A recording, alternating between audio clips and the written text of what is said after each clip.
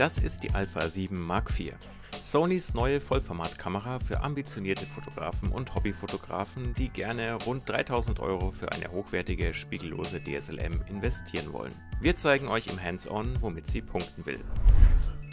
Neuer Sensor, starke Speicherunterstützung, bessere Anschlüsse. Sony hat ein ganzes Paket an Verbesserungen in das kleine Kameragehäuse gepackt. Mehr Power fürs Fotografieren bietet der neue BSI-Sensor mit 33 Megapixeln. Der stabilisiert über 5 Achsen. Fotos sollen so sehr rauscharm ausfallen, auch bei hohen ISO-Werten. Die bewegliche Aufhängung des Sensors gleicht leichte Wackler zuverlässig aus und lässt Spaß am Fotografieren aufkommen.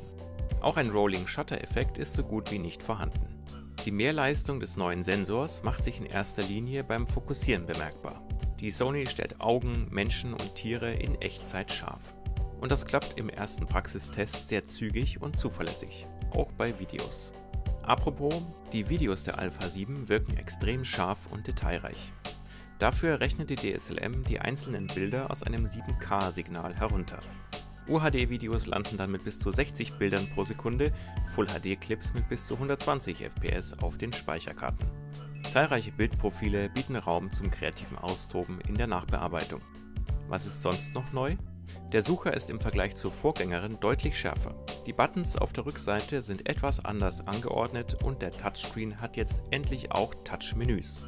Außerdem bekommt ihr einen vollwertigen HDMI-Port, USB-C, Mikrofon und Kopfhöreranschluss. Besonders positiv, beide Speicherslots auf der rechten Seite der Kamera unterstützen den schnellen UHS-2-Standard.